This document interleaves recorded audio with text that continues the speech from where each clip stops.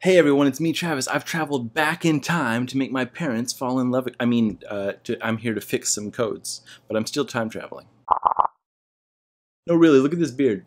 Crazy, huh? Consider this video 3.5 in this current series. For those of you watching this series week by week, you're going to be like, what is he talking about now? But for those of you tuning in for the first time and watching the playlist in order, you're going to be like, whoa, look at that beard. He can time travel. It's come to my attention that I made a, a mistake early on in this project.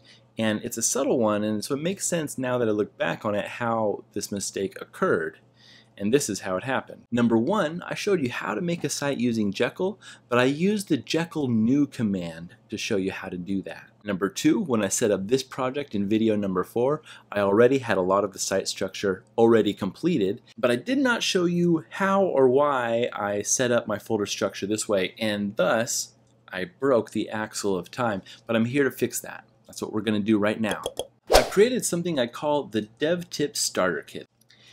Here we have just a very, very basic index.html, and we link to the essential files like my main.css, I'm including jQuery 2, and uh, I have a, a, a script page set up called functions.js.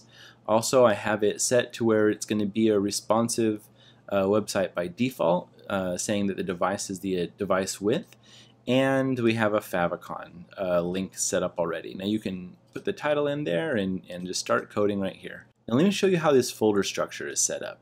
As you can imagine, images is empty because there's no images in this starter kit. And the JavaScript folder here has the jQuery that I talked about and functions is ready. Functions has a document ready statement saying that after the document uh, the DOM has loaded, we're going to begin executing any functions that we have here. Now, we've never talked about this in dev tips yet, but it's ready for us and we're going to be talking about it soon, in fact, on our artist theme. But that's way in the future, remember? here we are in the CSS. Now this is probably what I skipped over the most and I'm here to fix it. So we have two main ideas here. Number one, we have a bunch of isolated folders that will help us to kind of keep our code really clean and separate and easy to find what we're looking for. And then we finally have the main.sass. Now I think we called this all.sass in our artist theme, but it's the same concept in this main.sass, we're importing uh, the index for each one of these uh, folders. See, they all have an index. Now this index is an important page because what it does is import everything else in the page. Now when the index imports everything in the page and then the main imports every index and this all compiles down to one single CSS file which is exactly what we want. We want the browser to only ever have to call one CSS file from our server thus cutting down significantly on page load time. Now the folders that I have here uh, will start in the beginning. Tools. In Tools I put all of the kind of CSS and all the libraries that I'm not going to be touching generally. So I have normalize here, which will give me kind of just the standard, you know, browser resets that are that are really important for every web project. I have here um, Bourbon, which is important. Uh, it's an important Sass mix-in library for me. I, I use it all the time, and what I really like about Bourbon is that it's they're just mix-ins. They they are not precompiled code. If you run Bourbon, right, like we're compiling our Sass, none of this is none of bourbon right? Like bourbon didn't prescribe us to have any output. So if you include bourbon into a project but never use any of those mix-ins it will equate to, to not having bourbon in your project at all. If you don't use it it equates to nothing and there's no problem in just leaving it there. So I include it in every project and I use it when I need it. It's, it's really great to have um, I've made a whole series about bourbon. You guys know how I feel about bourbon. I love bourbon. Also, I have here the last in uh, the last import is the fonts. Now this will change from time to time, but generally once you have your font set up for the project, it's not going to change. And here I'm I'm just showing you how I imported the Google font face. Uh, the Google font Open Sans as the font face, so it's going to be the default to the projects. Now, after I have the tools, I'm going to have the base. There's a base index which includes first the vars. The vars are the variables And right now I just have a bunch of colors set up here, like the primary color, what is the text going to be, the accent color, the background, links, selections, you know, like when you highlight things with your mouse. So all of these are set here and you can add tons and tons and tons of variables to this as your project grows and you use these variables throughout. And then in base, this is the first time that we're actually writing CSS that's going to output in, uh, in our project. So I have typography presets, uh, talking about headline statements, um, paragraphs, and different typographic elements. And then I have the links, setting the link color and selections, and then some basic body um, styles, including setting the font family for the project and the background color and that type of thing. Cool, so that's the base. Now the modules, mod I have nothing in the index yet. I have nothing here. Modules are going to be very, very project specific thing. They're going to be like, what does the header look like? Or what does a contact form look like? What does a, um, you know, what does a, a a, a pop-up modal look like or, or what does a confirm message or an alert look like these are all going to be very contextual to the projects so I've set up the folders but I haven't done anything in it and if you don't ever put anything in it and use this thing, it's still fine. Because there's nothing in the modules index, it's still compiling to zero. So it's not going to take up space, it's, it's going to be fine. And the same goes with pages. That's the next subfolder here. So this is where you're going to put your styles that are specific to the about uh, page, right, of your website, or the contact page, or the features page of, of your product, or the um, you know the home page are going to have very specific styles to that page not their modules but the page itself like the structure and layout.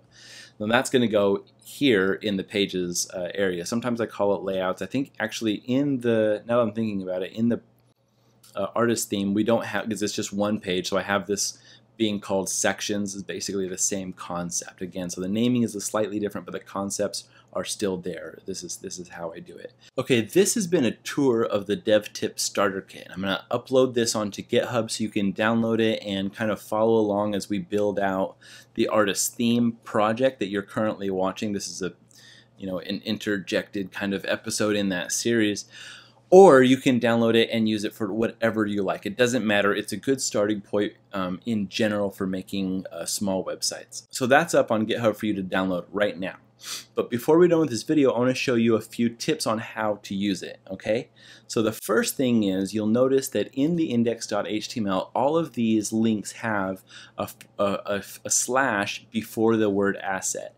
This means every time that the asset is called, it's going to start at the root directory and then work its way back. Even if you're in a sub page, like if you're like this is the index right now, but if it's like slash team or company and then that index, you can still do slash assets because it'll jump back to the root and then find the main.css. In order to use it, you have to be using a server, right?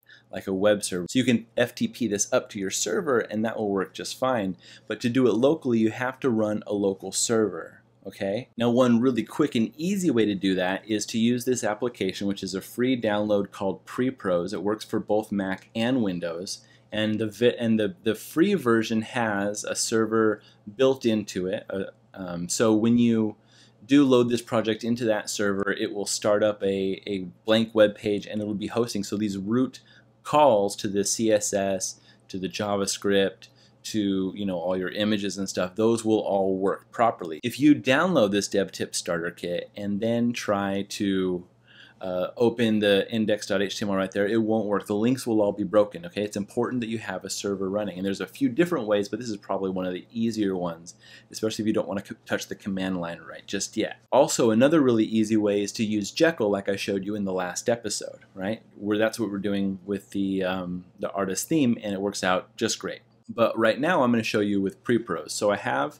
my uh, DevTip starter kit, and I have Prepros open here. I'm going to drag my project onto the Prepros window and it's going to just launch a project right here.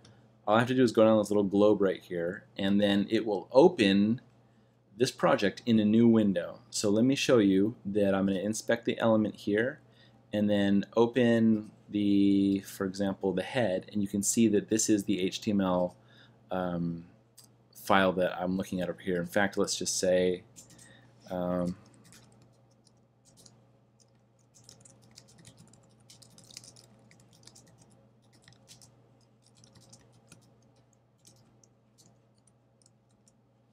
See how that pops up? One another another nice benefit from Prepros is that it does uh, live refreshing or auto refreshing. So on every save, it's just going to update your HTML page without you having to switch to it and press refresh. So that's quite nice. But it's just a it's just an added benefit. The real uh, the real feature that we're looking for is the server here. So um, let me show you that the server is working and then the assets are included. So I'm going to go over here to the resources, frames, localhost, and I'm going to check that my scripts are all here. That's my that's my functions. That's my jQuery and my style sheet. That's my main. So it's all working. You can see that the style is all there, and this is how you do it. So again, just to cover all the all the touch points, it's on GitHub. You can download it using the link in the description below. And also, it's um, you have to be using a server, and I recommend using a server every time you code locally, uh, even if it's a, a, Jekyll server, if it's a Prepros server, if it's a HTTP simple server uh, using using Python. Uh, I'm going back to the future, guys. This is it. I'm out. Thanks for watching, and uh, you know, leave a comment if you have any questions. I know this is weird that I'm like making. Why am I making 3.5 video when we're on like episode number 10 in the future? But I just wanted to show off my beard to the people in the past, which is you know you guys watching this for the first time. Anyway, much love. Take it easy. Talk to you soon. Watch the next video. I don't know. Bye.